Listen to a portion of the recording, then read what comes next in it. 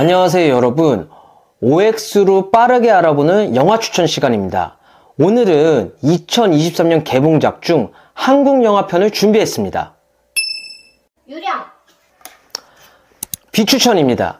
독전을 만든 이혜영 감독 작품이라 기대했었는데요. 실망했어요. 스파이 액션이라는 매력이 없고요. 겉멋만 가득한 영화라고 느껴졌어요. 영상미만 이쁘고요 연출, 스토리, 나머지는 다 아쉬운 작품이라고 비추천입니다. 어쩌면 우린 헤어졌는지 모른다. 추천입니다. 기대 안 하고 보았는데 재밌었어요. 풋풋하고 설레는 연애가 아니라 현실판 연애를 담백하게 잘 그려냈고요. 우리가 생각하는 뻔한 결말이 아니라서 더 좋았던 것 같아서 추천드립니다. 멍뭉이 아, 멍뭉이. 추천입니다. 아, 이거는 추천하긴 애매한데, 왜냐면 너무 착한 영화라 지루하고 별로일 수도 있어요. 강아지를 너무 사랑하시거나, 어, 좀 보면서 힐링을 원하시는 분들이라면 추천입니다. 교석 비추천입니다. 황정민 배우와 현빈 배우가 뭉쳤는데도 흥행에 실패한 작품이죠. 음, 그냥 영화 자체가 어디선가 본 것 같고, 동시에 지루하고 재미가 없어요. 예고편이 다인 영화고 예고편 영상만 보시고 흥미가 가시는 분들만 찾아보시면 될 것 같아요. 대회비 대회비 음, 비추천입니다. 긴장감보다 오히려 피로감을 준 영화였어요. 어, 정치와 조폭, 이제는 좀 지겹지 않나 이런 생각이 듭니다. 배우들의 열연이 무색할 정도로 별다른 특이점이 없어서 비추천입니다. 조태구 조태구 음, 추천입니다.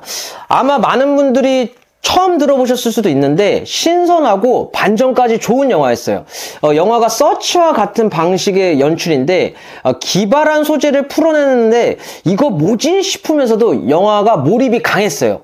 오랜만에 색다른 좀 작품이어서 기억에 남는데 여러분도 한 번씩 찾아보시면 좋을 것 같아요.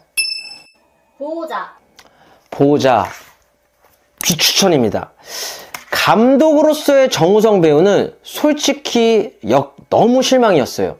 어, 김남길 배우 연기 말고는 어, 저는 별 게 별로 없었다고 느꼈고요. 우리가 소위 말하는 삼류 영화라고 말하는 어, 클리셰란 클리셰는 다 갖다 붙여서 만든 작품 같았어요. 안타깝습니다. 더 와일드 야수들의 전쟁 비추천입니다. 더럽게 자극적이고 욕만 가득한 영화였어요. 박성웅 배우가 점점 믿고 거르는 배우가 되지 않나 너무 걱정이 되고 안타깝더라고요. 아수라판이 따로 없었습니다. 영화가 후반으로 진행될수록 이게 뭔가 싶더라고요. 달짝지근의 7510 추천입니다. 오랜만에 귀엽고 따뜻한 로코를 본 것 같아서 기분 좋았어요. 유해진, 김희선 배우의 조합이 은근 좋더라고요. 극장 내에서도 의외로 관객들이 웃음이 빵빵 터져서 삐뚤어지지 않는 순정과 순수함이 좋았어요. 가볍게 보기 좋은 작품입니다. 3일의 휴가 추천입니다. 어, 부르면 눈물 나는 이름이죠. 엄마. 엄마라는 이름은 눈물 치트키 같아요. 알고 봤으면서도 어찌나 눈물이 나는지 사랑과 영혼의 모녀판과 리틀 포레스트를 약간 혼합된 영화 같이 느껴졌어요. 감동적이고 마음 따뜻한 영화였어요. 오늘의 영화 추천 OX 한국편 어떠셨나요?